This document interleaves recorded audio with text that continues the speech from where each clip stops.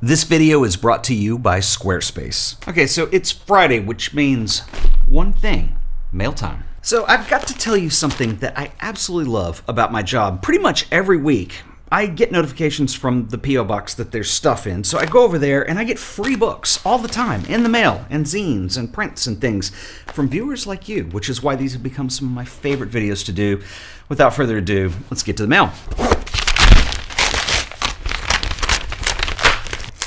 Okay, first up, we've got this little print. This comes to us from Chris from Minnesota, who writes, Ted, it's been a while. I sent you a darkroom print a number of years ago, and I thought I would send you a color image that I made last year. It's from a small town in Minnesota called Jordan, who can resist images with reflections in text. Thank you, Chris. This is awesome. Next up is a book from Richard James Palmer. This is called Honorable Lady. And Mr. Palmer writes This project is based on my Nan, who lives in Sunderland, UK, Northeast. Won't say too much about it, but it was all shot on medium format color film. It's a really nicely done book, but I want to read you the intro as I show it to you here. Anyway, he says in the book Back in 2017, I started to photograph my Nan in the council house that she lived in for 43 years in Plains Farm, Sunderland. While she was always my Nan, our relationship was not by blood. Ron, her son, stepped in as my father raised me and my brother Oliver with my mother. Every Sunday, we would all visit Nan, eating dinner together and watching Football Italia with my dad and granddad, three generations together, as Oliver and I played with toy cars three generations old. My granddad died in 2001, and Nan was suddenly alone. A sociable person who seemingly knew everyone around Sunderland, Nan's mobility worsened in 2017, and her resilience on family to help her with everyday tasks increased. Nan and I have always been close. My dad and brothers would always make jokes about me being the favorite. She was lonely at times, so I would ring to see how she was or pop around to see her. It was around this time that I began to make photographs with Nan. It occurred to me that Nan and her house, so full of personality and family history, would one day be no more than a memory. And while visiting her, I found a box containing the aforementioned toy cars gathering dust in her spare room. To a stranger, these are merely objects in a house, but to me, they are Nan's story and our story with Nan. In the process of telling this story, we became even closer. I wanted the images that I made with Nan to be personable and intimate, digging deeper and portraying her life in a true and honest way, a fitting tribute to an honorable lady. Richard, this is a beautiful book. I absolutely love how vulnerable it is, and what I hope people get as a takeaway from this is it's interesting in photography when you consider a portrait right? So you're going to shoot a portrait of somebody. And then when you dig deeper as an artist, you try to tell a story, say something about that person, make it representative. And I love the fact that we have a book here that really gives us a lot of that laid out. So this is really awesome. Richard, thank you for sending. It's incredible. Next up is a book from John Petro, and this is called Fossil Fuel Fossils. It is a collection of photographs of a peculiar and singular subject. And John writes Ted, I very much enjoy and appreciate your art of photography videos. The topics you choose to discuss and your commentary are informative, inspirational, and humbling. I have been into photography since my junior year in high school in the mid 1960s. We subscribed to Life and Look magazines, and I was captivated by the photographs and the documentary work of Alfred Eisenstaedt in particular. At the local library, I discovered the work of Depression era photographers, Steichen's Family of Man and Frank's The Americans, among others, and it all cast a spell over me. Did I say humbling already? In any case, I love traveling backroads, both in the US and abroad, and documenting with my camera the effects of the passing of time on the land and Us. Enclosed is a self published magazine that I put together dedicated to one very particular and unique, maybe odd subject that I can't resist stopping for in my travels, among them dozens of others. I hope you find it with some little interest and worth sharing. Regards, John. John, this is really nicely done. Thank you for sharing. It brings to mind, and at least for me, a lot of Ed Ruscha and maybe even a little William Eggleston influence in there, and I absolutely love it.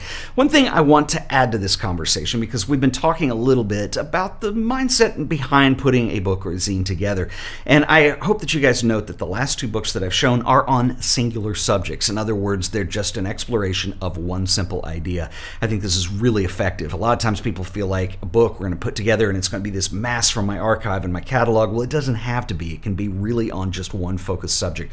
Really nicely done, John. Thank you for sharing. So the next two books that I want to share with you, and I swear I did not plan this. When I do these mail videos, literally I go through the stacks, I grab about five items or so that I want to share. I open them here and you see what I randomly picked. And I happen to pick two more books here that are related to this whole idea of a singular kind of topic or subject. A little bit different because they have a little more variation to them, but it's interesting that this just is happened to be what I stumbled upon today. But real quick, I want to give a shout out to our awesome sponsor, who are the folks over at Squarespace. Listen, you need a website, and we all know how much work that is to build and maintain, but it doesn't have to be. Squarespace is by far the easiest way to build your online presence. It's also the best way to grow a business that works for you without having to write a single line of code.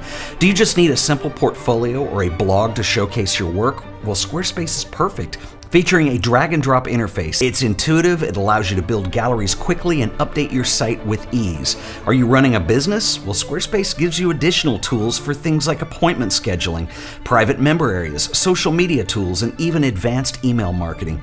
Do you sell products or services? Well, Squarespace has you covered with complete tools to power your store, from merchandising to checkout so that you can sell, ship, and build your customer base.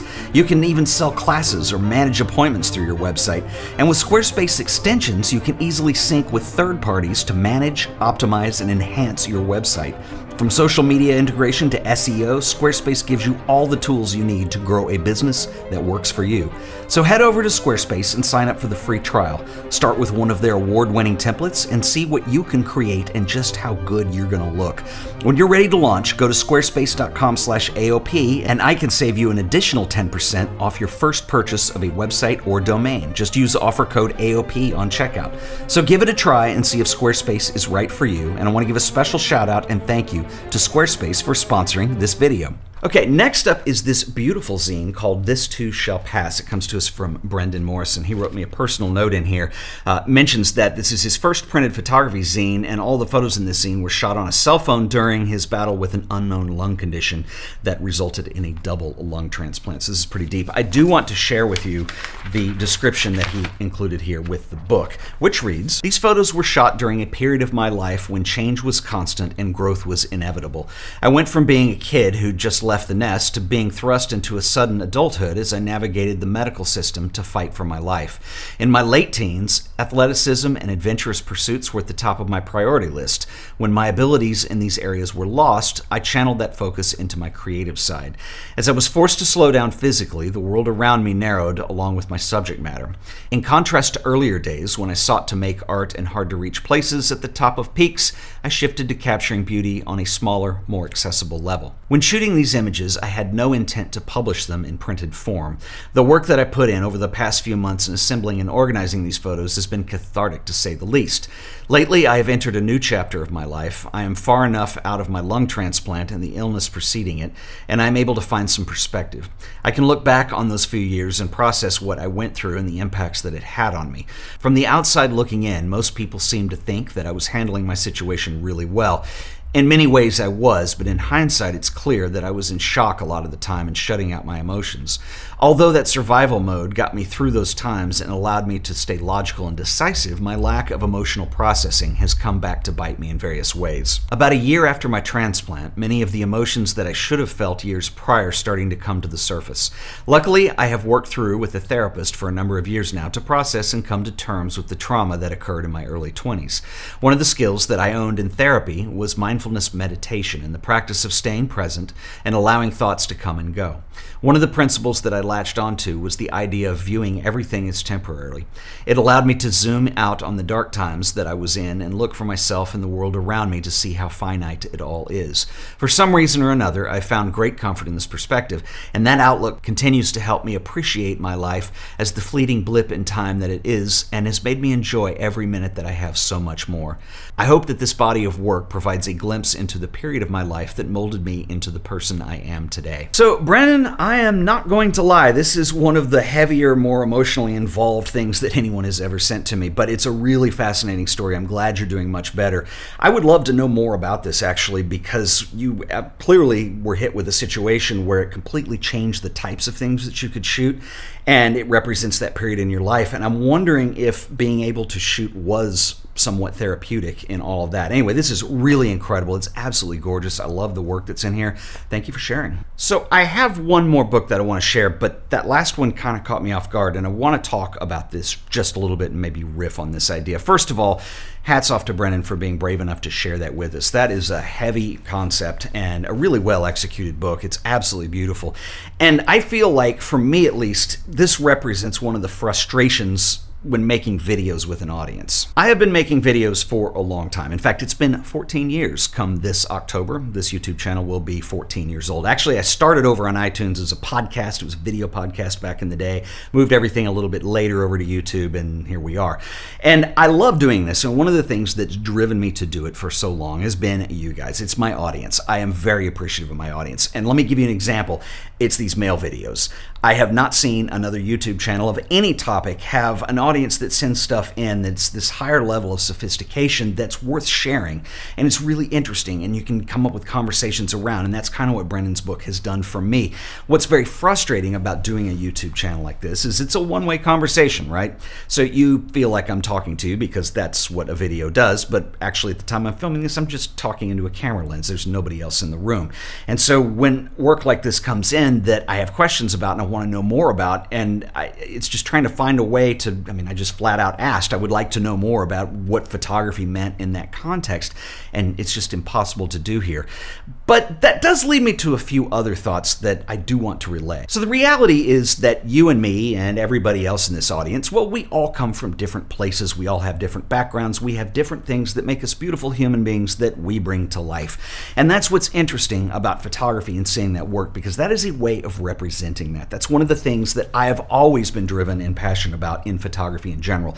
All the people that I look up to, um, the artists that I've interviewed for this show. I mean, I've been really lucky where I've gotten into a position where I've gotten to meet my heroes. Uh, I've got this stuff with Ralph Gibson that is slow in the process. We're about to finally have it done, but that's a huge deal for me to be able to finally do that and have conversations with a lot of these people. And that's the one thing that brings us together is that we're using this visual communication or this visual medium to communicate. It is visual communication. And that is what's so beautiful about all this because it's I wouldn't say it's a secret language. It's a language that I think everybody, especially human beings today, really have a grasp of. Like, for instance, you know, everybody shoots pictures with their phones, whether they're interested in photography or not. They are communicating visually, and we're in an image related world that kind of forces you to think in those terms. But what really makes this powerful to those of us that are interested in learning photography and learning how to pursue this method of communication it's just an enormously powerful gift that it's there for those that want to take it. And I see this in all of the work that has been sent in. And I, I know I'm taking a book and I'm, I'm going to save it for the next video, but I thought it would just be important to kind of acknowledge that because that last book really brought that to mind, the last zine that I showed. So, anyway, if you guys have any questions, please drop them in the comments. I will see you in the next video. Until then, later.